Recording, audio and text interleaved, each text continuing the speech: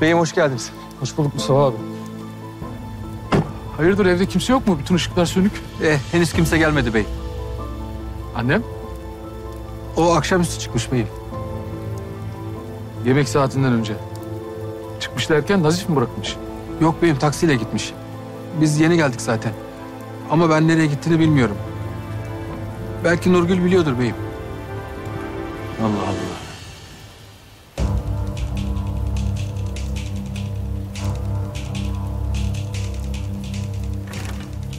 Hiç çırpınma. Beraber öleceğiz.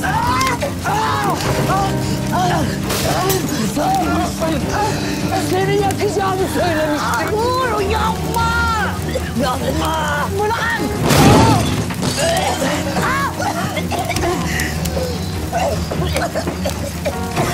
Bırak. Bırak.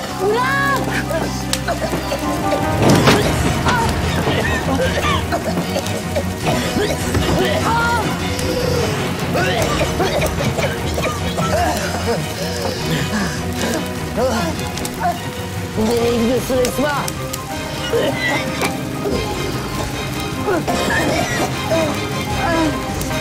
Onlar güzel. Gel bakalım. Aa şunlar, şunlar, şu, şunlardan alalım. Vay bunlar ne ya? Bunlar çok sempatik şeyler. Vallahi. Dur bakayım. Çok güzel değil mi?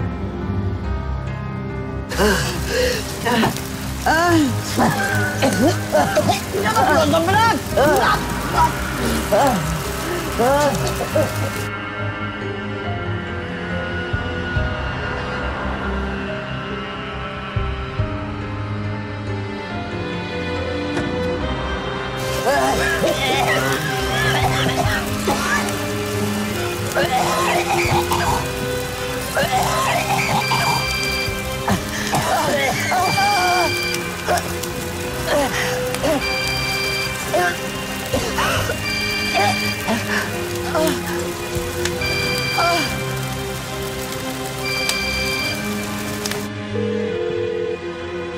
Ben de daha hazırlığa falan başlamadım bir şey demedi diye. Allah Allah. Bir şey söylemeden nereye gider bu ya? Bilmiyorum ki.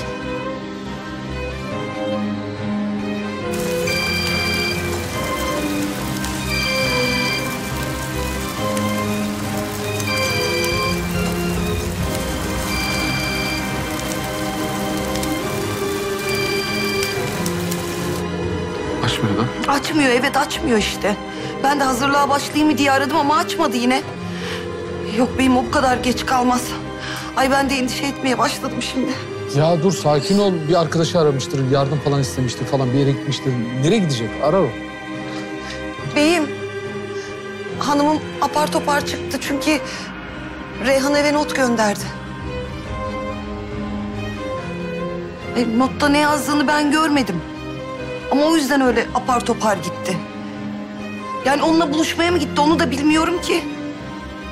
Telaşlı mı gitti yani? Solgundu. Hali iyi değildi. Mustafa e, taksiyle gittiğini falan söyledi. Bizim duraktan. Ha. Yara bakalım. Alo iyi akşamlar. Ben Faruk Boran. İyi akşamlar. Ee, bizim konaktan sizden biri annemi almış. Bir yere bırakmış. Nereye bırakmış öğrenebilir miyiz? Ha, bir dakika Hayri almıştı o da şimdi geldi. Şş, Hayri Esma Hanım'ı nereye bıraktın? Bir baksana Faruk Bey telefon. Trili Orman yolundaki kulübeye bıraktım beyim. Trilye mi? Evet beyim. Ben size mesaj atayım yol tarifine. Oradan kolay bulursunuz. Tamam. İyi akşamlar. Dağın başında bir kulübeye bırakmış. Saçma sapan bir durum. Aa, aa, kulübeye mi? Kusura bakma beyim. Ben arabayı alacaktım da lafa tuttu benim. Ben bırakayım beyim.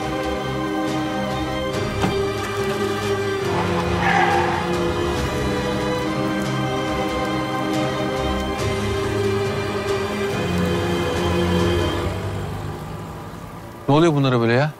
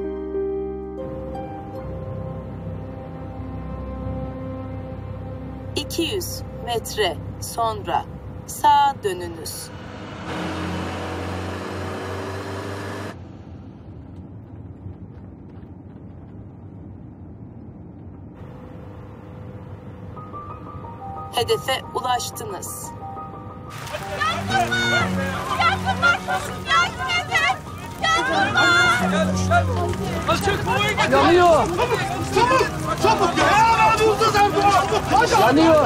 İtfaiyeye haber verdiniz mi?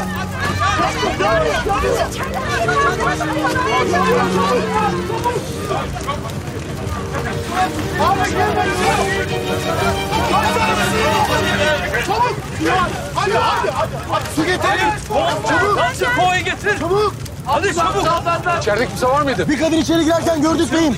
İçeride var, biri var. Var içeride, girmeyin. Beyim, girmeyin. Beyim, girmeyin.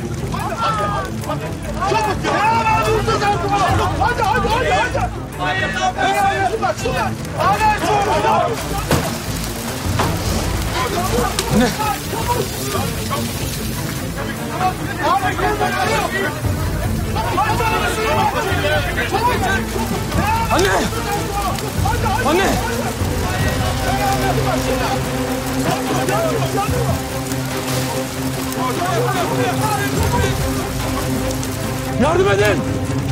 Yardım edin! Koş koş koş yardım edin koş. Yardım edin! İçeride biri daha var! Bilmiyoruz ki beyim, bakmadık içeri. İçeride biri daha var. Aydın abi. Aydın abi. Aydın abi. Geldim. Aydın abi. Geldim. Anne. Geldim Anne. koş. Bir de kendine gel. Öldü mü ne oluyor? Nefes alıyor mu? Alo. Alo. Ambulans. Alo.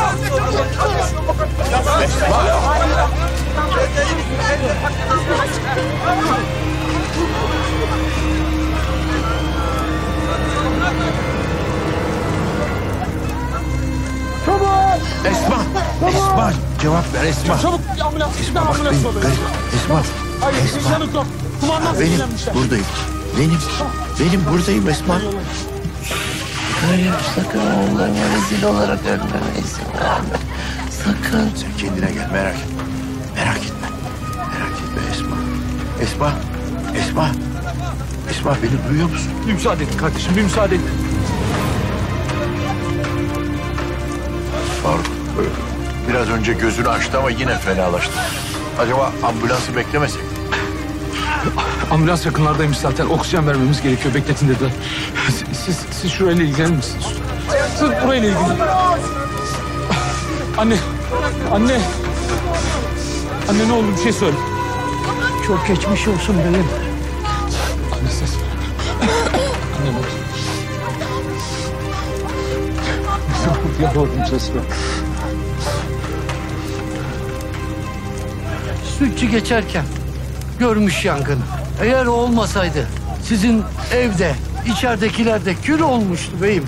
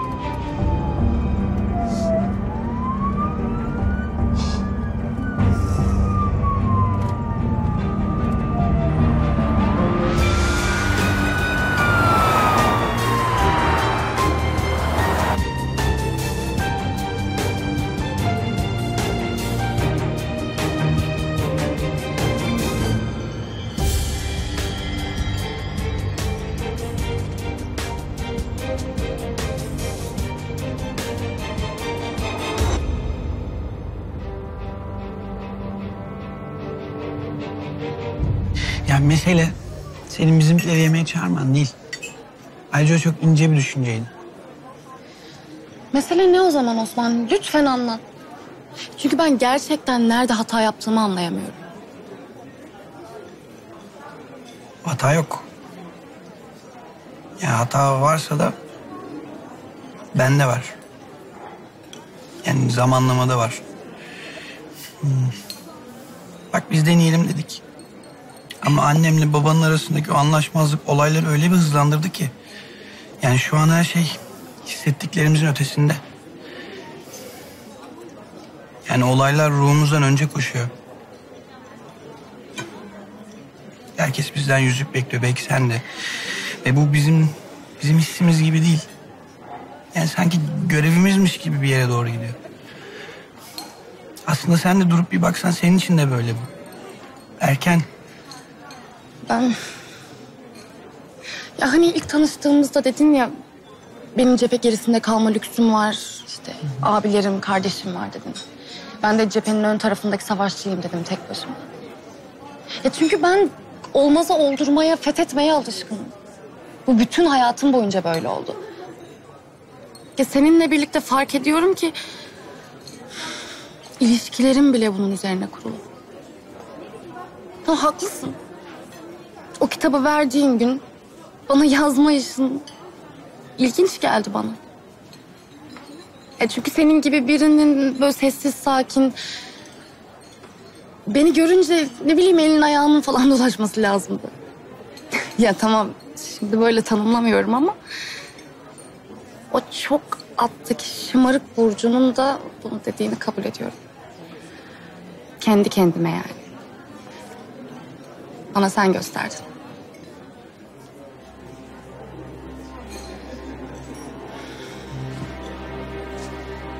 De böyle hazır itiraflara başlamışken bir gazla. Ben öyle kitap kurdu falan da değilim. Fark ettim bunu. Niye? Çocuksu işlere karışık kalkıştım biraz. Özür dilerim. Ama seninle birlikte fark ettim ki asıl mesele elde etmek değilmiş. Az önce çok güzel bir laf söyledin. Olaylar ruhumuzdan önce koşuyor. Ya ben sana kadar ruhumu dinlemeyi hiç akıl ettim mi diye düşünüyorum.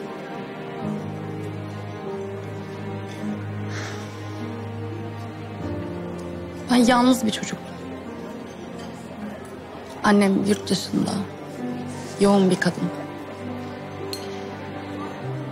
Babamla neredeyse hala randevu alarak görüşüyorum. Öyle senin gibi kalabalık bir ailede yetişmedim. Bakıcılar, okullar, paranın imkanları içinde büyüdüm. Ve istediğim her şeyi elde etmenin bir yolunu da buldum bu yüzden. Ama şimdi bakıyorum çocukkenki kaprislerime, büyüdüğümdeki hırslarıma. Aslında o aradığım şey, istediğim şey çok basitmiş.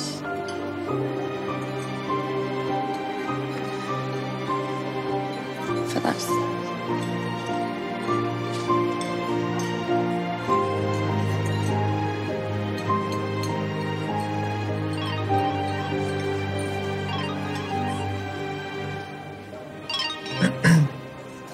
Abi acil değilse eğer. Annemi hastaneye kaldırıyoruz.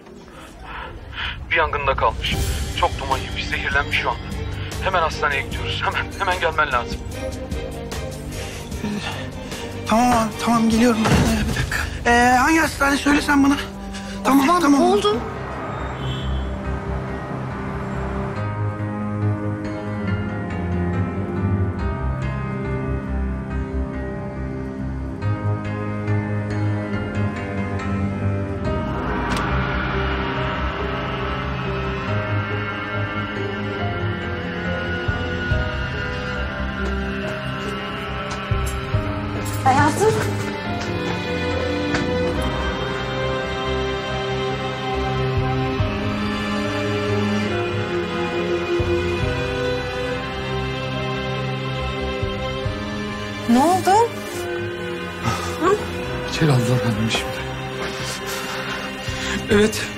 Artık konuşabilir miyiz?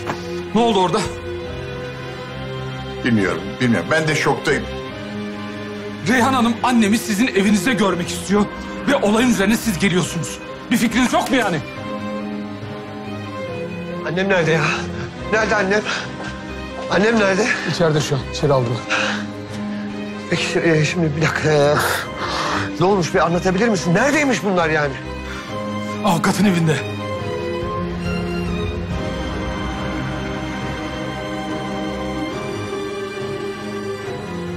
Hayatım bir sakin mi olsak ya? İçeriden haber gelmedi daha. Herkes gergin. Yapma. Annemin ne işi var orada ya? Bir dakika. Nasıl geldi annem oraya? Nasıl, nasıl, nasıl yandı bu? Ne- siz mi çağırdınız? Ne demek ya siz mi çağırdınız? Ne demek ya? Annen anneme not yollamış bir yere çağırmış işte. Ne demek siz mi çağırdınız? Faruk. Ya bir dakika hayatım bir dakika. Ben basit bir soru soruyorum. Basit bir cevap istiyorum. Tamam mı? Bu kadar zor mu bu? Evet bir açıklama. Reyhan Hanım Esma Hanım'a onunla görüşmek istediğini söylemiş. Ama bu özel bir görüşme e, gizli olsun istemiş. Onun için bir yer arayışına girmişler. Bunu da sizden istemiş öyle mi? Evet.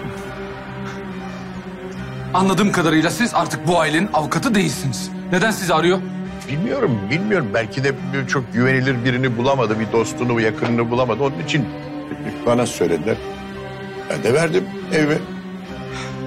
Annenin annemle bu kadar özel konuşacak ne konusu olabilir? Evde o konuşulmayan dağın başına gidilen.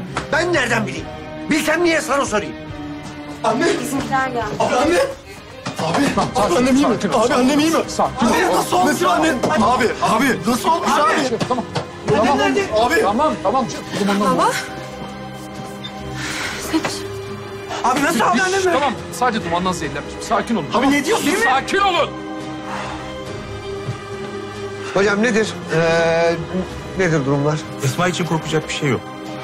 Bu gece evinde dinlenebilir. Birazdan çıkışını yapacağım. Merak etmeyin iyi.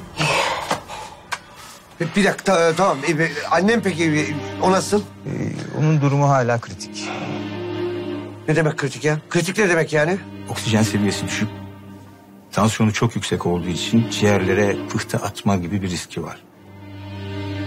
Yoğun bakımda kontrol altında bulundurmamız gerekiyor. Bir dakika. e, hayati tehlikesi var mı yok mu? Bana bir şey söyle doktor. Hayati tehlikesi var mı yok mu? Bir cevap versene bana. Elimizden geleni yapacağız. Ha? Merak etmeyin. Hadi geçmiş olsun. Geçmiş olsun çocuklar. Nasıl elimizden geleni yapacağız ne demek ya? Bir dakika ya.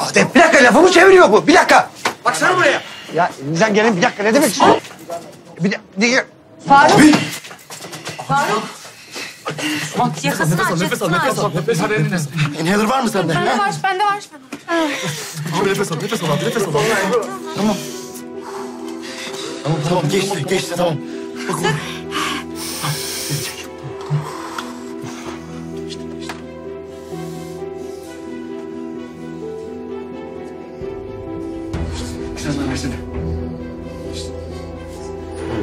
belanızı versin be.